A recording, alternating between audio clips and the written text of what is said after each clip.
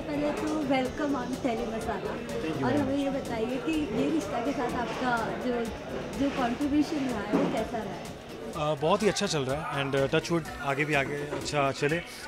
बहुत ही अच्छा लग रहा है क्योंकि यहाँ पे जो एटमॉस्फेयर है आप जो टीवी पे देखते हो वो बिल्कुल डिफरेंट होता है रादर जब आप सेट पे होते हो तो सबके साथ। अभी right now was doing scene with Naira so she is been a great sport और बहुत ही अच्छे सब अपनी अपनी जगह पे बहुत कमाल है और नए नक्श को एक्सेप्ट कर रहे हैं तो ये और भी कमाल है।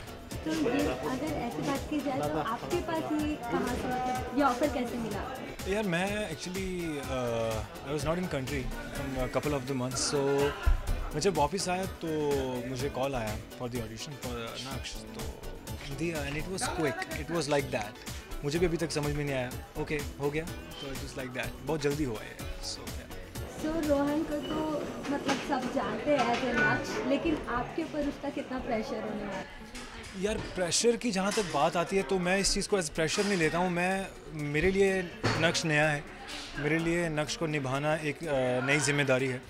जो कि मैं पूरी कोशिश करूँगा निभाने की और रोहन के बारे में मुझे जैसे आप बता रहे हैं, वैसे सब लोग बता रहे थे कि रोहन ऐसे हैं मतलब उनके बारे उन्होंने जो प्ले किया, उन्होंने अच्छा क्योंकि मैंने नहीं देखा, अगर मैंने देखा तो मैं डेफिनेटली बताता कि कैसा है, लेकिन मैं नहीं देख पाया तो उन्होंने जैसा प्ले किया होगा, बहुत ही कमाल किया होगा। अब जो मैं करूँगा, मैं अपने तरीके से करूँगा।